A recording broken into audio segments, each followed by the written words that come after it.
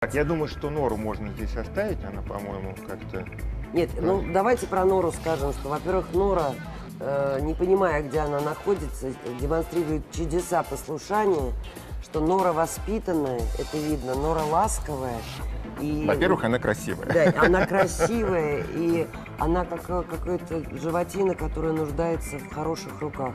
Вот если есть добрый человек, которому прям вот нужен, нужен друг, нужен собеседник, нужен человек, человечек, который будет ложиться на ноги, если что-то болит. Терапевтировать, Да, да. терапевтировать. Вот. Вот, да. Спасибо, Нора. Понимает, Она слышит. принято, Ну, да. это ж кошки понимают. Понимаю, да. Спасибо вам, я люблю, когда пиарят. Пиа- Ну, что и пиарить? так, нет, вы А, туда, я должна. туда, Да. лапку.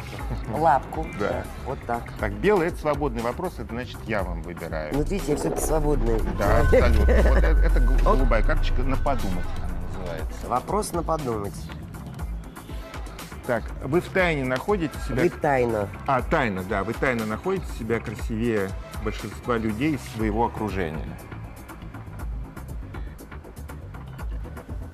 Ну, тайна, тайна. Вот, ну, Тайна? как бы вы, Ну, вы думаете, все-таки честно- подходите, думаете, все-таки я такая, вот куда им всем остальным за меня? Во мне же вот, вот есть вот это вот Вы знаете, я контент. могу вам сказать так, Да. что когда у меня недавно родилась внучка, она просто царевна Будур.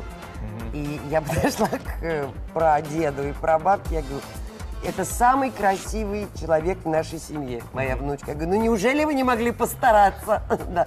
Я вообще к своей внешности отношусь философски, потому что я не принадлежу ни в коем случае к красавицам. Но когда-то великолепно, точно про меня сказал Михаил Михайлович Казаков, у которого я играла, э, играем Стримбер Блюз.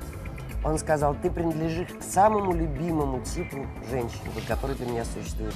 Некрасивых красавиц. Потому что я могу быть э, шваброй, я могу быть 90-летней коргой, а могу быть Джульеттой и могу быть э, просто принцессой, королевишной. Это только внутреннее ощущение. Ты можешь быть в одной и той же одежде, ты можешь, э, э, как сказать, выйти э, с интервалом в два дня абсолютно в том же макияже, но один Включить, день ты да. будешь абсолютно негативным и погасшим человеком, и будешь самым уродливым на фоне всех. А в тот день, когда что-то в тебе светится, вот это есть внутренний свет, какой-то дар Божий, который в тебе существует и в каждом, а, тогда ты самый красивый. Верю. Внучку как назвали? Ольга. Не политкорректно, но без злого умысла. Иронично, но без сарказма. Пристрастно, но по-честному. «Правда-24» и Евгений Додолев.